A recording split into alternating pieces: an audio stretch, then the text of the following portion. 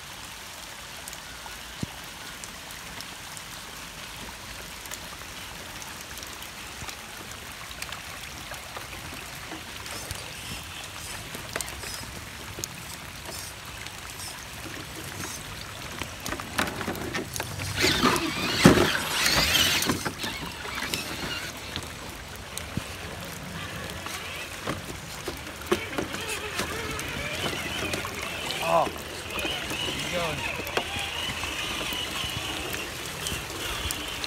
All right. It went on its side though. It's all good.